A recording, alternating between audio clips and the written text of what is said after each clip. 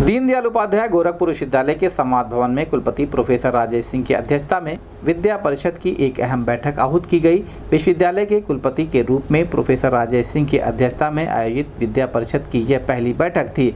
इस महत्वपूर्ण एवं ऐतिहासिक बैठक में विश्वविद्यालय के कला, विज्ञान, वाणिज्य, शिक्षा संकायों के परिषदों तथा विभागों के विभागीय पाठ्यक्रम समिति द्वारा पारित साठ से अधिक नवीन पाठ्यक्रमों पर गहन चर्चा कर पारित किया गया। विद्या परिषद ने पाँच नए इंस्टीट्यूट तथा उनके अंतर्गत तेरह सेंटर सहित साठ से अधिक पाठ्यक्रमों को अपनी संस्तुति दी। ऐतिहासिक बैठक में दो बड़े इंस्टीट्यूट, जिसमें साइंस के लिए advance multi disciplinary institute of science education and research तथा सोशल साइंस के क्षेत्र में Mahayogi Gorakshnath global institute for cultural एवं एंड डेवलपमेंट स्टडीज़ के प्रस्ताव को स्वीकृति दी गई। इसके अलावा तीन इंस्टीट्यूट इंटर्नशिप डेवलपमेंट एवं business studies educational institute centre for excellence for institute of hotel एवं tourism management institute of physical education and sports sciences को पीपीपी पब्लिक प्राइवेट पार्टनरशिप में चलाने के प्रस्ताव को पारित किया गया। इस दौरान विद्या परिषद ने 11 सेंटर ऑफ़ एक्सीलेंस की स्थापना के प्रस्ताव को भी पारित कर दिया, जिसे स्वीकृति के लिए राज्य सरकार को प्रेषित किया जाएगा। इस संबंध में कुलपति प्रोफेसर राजेश सिंह ने बताया कि पत्रकारिता के लिए एक अलग विभाग बनाने के प्रस्ताव को भी विद्या परिषद ने सहमति दी है।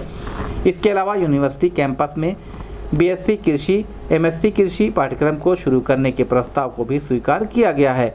इन प्रस्तावों को कार्य परिषद की बैठक में संस्तुति के लिए प्रस्तुत किया जाएगा। इस संबंध में गोरखपुर न्यूज़ से बात करते हुए कुलपति प्रोफेसर राजेश सिंह ने कहा।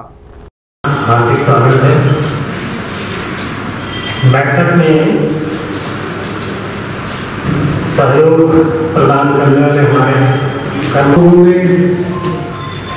काफ़ी मेहनत की है। आप ये देख सकते हैं नलक का स्वरूप।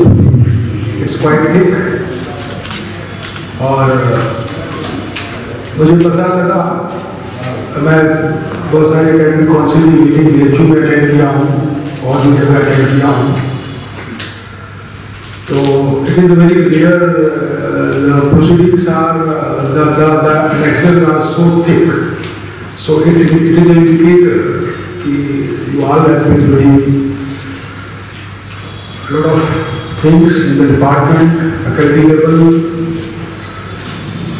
I came to know that uh, there were some people told me that some heated debate took place.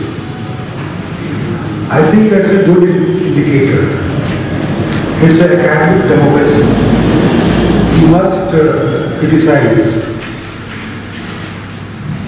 Otherwise, there is no use of this platform. But the criticisms should be constructive. We should involve in all sort of criticism, discussion, but that's the betterment of the academic curriculum, academic structure. Today we are all together for a historic event.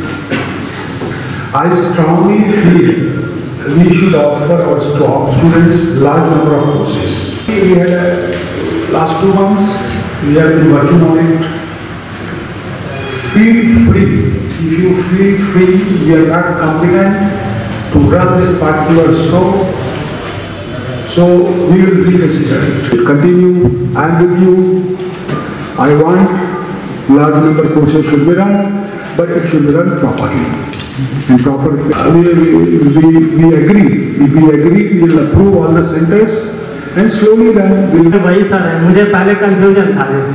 तो मैं क्षमा चाहूँगा sir, और मैं विशेष रूप से आपका जो सम्मान एवं आभार भी व्यक्त करता हूँ यहाँ पर।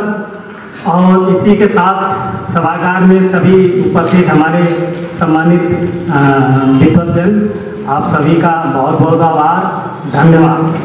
जी एकेडमिक काउंसिल की बैठक थी और ऐतिहासिक बैठक थी।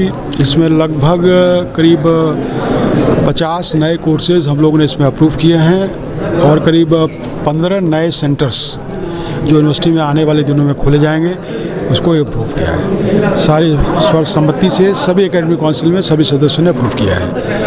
और ये ये मैं कहना चाहता हूँ कि पहले करीब पिचपन कोर्सेज चलते थे। सिंगल बैठक में हमने लगभग 50 कोर्सेज एकेडमिक काउंसिल से पास करा दिया धन्यवाद।